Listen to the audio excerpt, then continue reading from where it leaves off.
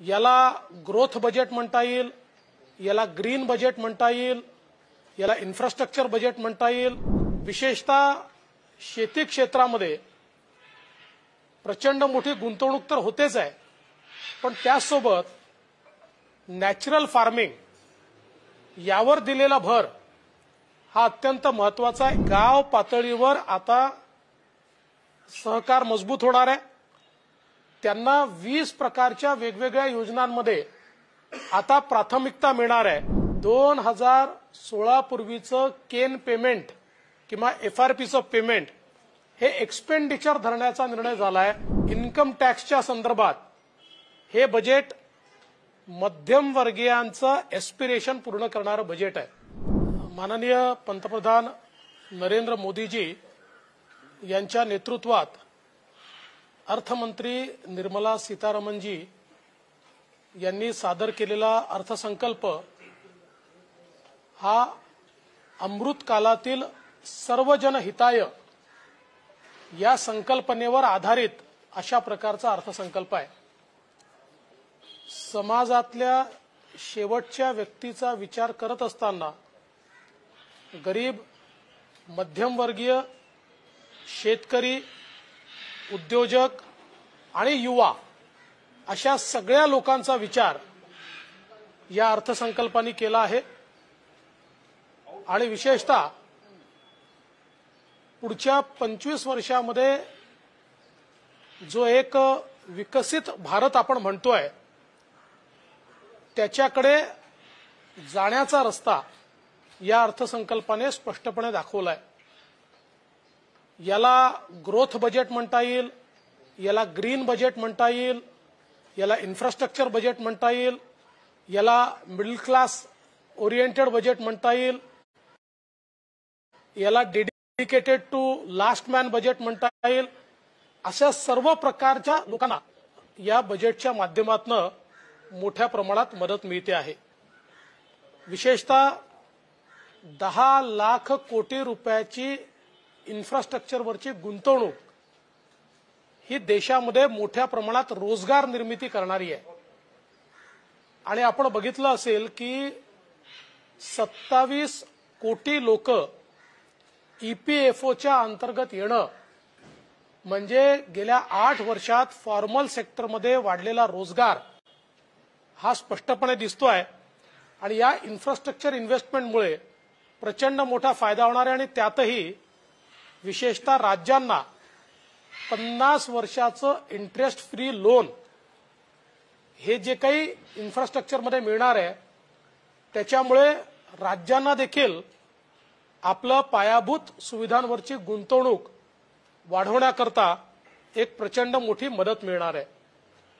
विशेषतः शेती क्षेत्रामध्ये प्रचंड मोठी गुंतवणूक तर होतेच आहे पण त्याचसोबत नॅचरल फार्मिंग यावर दिलेला भर हा अत्यंत महत्त्वाचा एक कोटी शेतकऱ्यांना नॅचरल फार्मिंगकडे वळवणं म्हणजे नैसर्गिक शेतीच्या माध्यमातून आज जी काही जमिनीचा नाश होतोय तो थांबवून त्याचा जो जलवायू परिवर्तन यावर इफेक्ट होतोय तो देखील थांबवण्याचा एक प्रयत्न या माध्यमातून होणार आहे.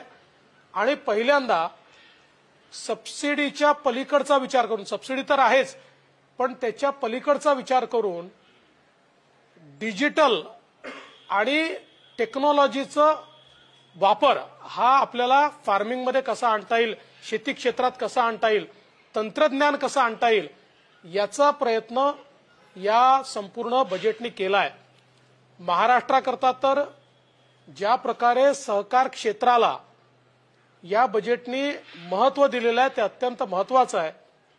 आता आमच्या ज्या पॅक्स असतील ज्या आमच्या प्राथमिक कृषी पथसंस्था आहेत यांना मल्टीपर्पज सोसायटीचा दर्जा मिळतोय.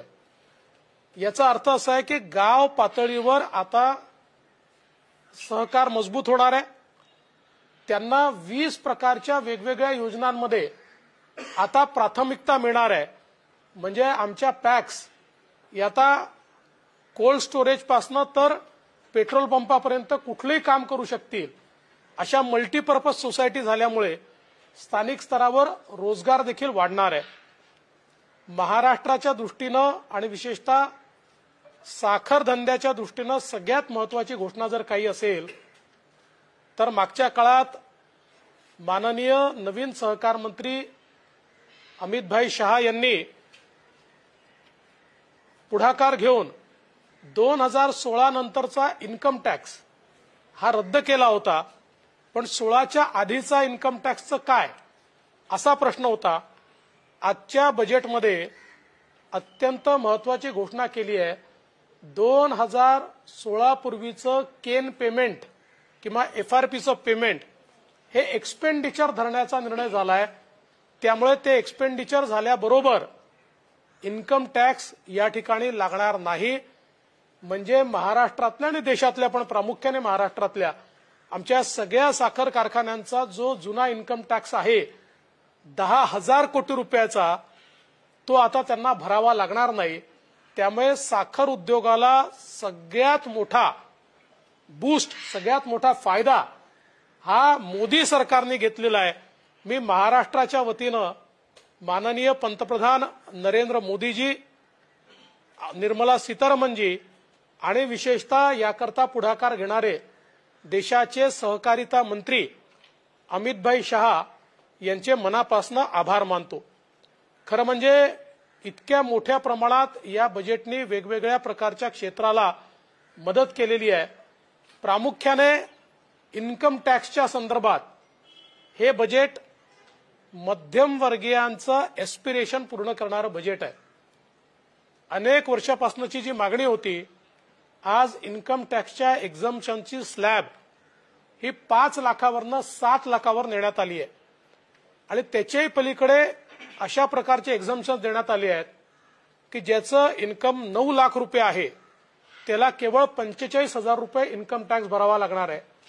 ज्याचं इन्कम पंधरा लाख रुपये आहे त्याला केवळ दीड लाख रुपये इन्कम टॅक्स भरावा लागणार आहे. म्हणजे मध्यमवर्गीय निम्न मध्यमवर्गीय यांना प्रचंड मोठा दिलासा या बजेटने या ठिकाणी दिलेला आहे.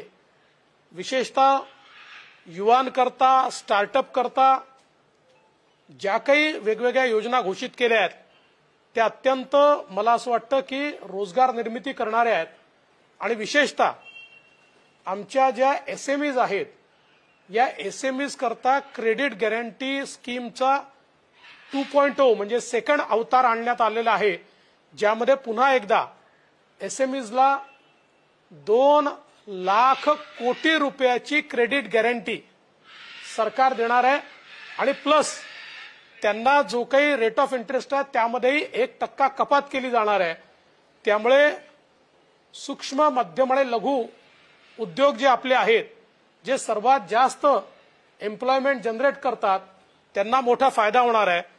आणि विशेषतः कोविड काळामध्ये ज्यांचं फेलियर झालं अशा लोकांना त्यांची जी अडकलेली रक्कम आहे सरकारकडे त्याच्या नव्वद टक्के पैसे परत करण्याचा निर्णय हा सरकारने घेतलाय.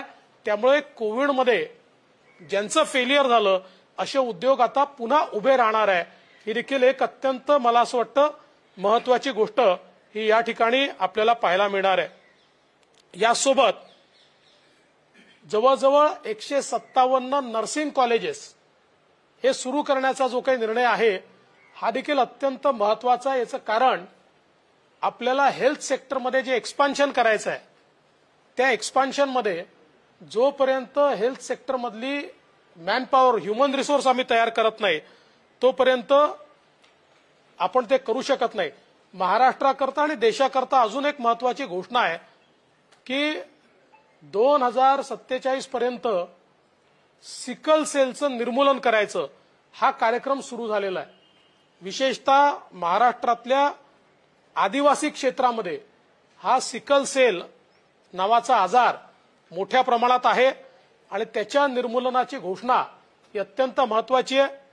जे आमचे प्रिम्युटिव्ह ट्राईब्स आहेत त्यांच्याकरता जी योजना तयार करण्यात आलेली आहे ही योजना देखील मला असं वाटतं अत्यंत महत्वाची आहे.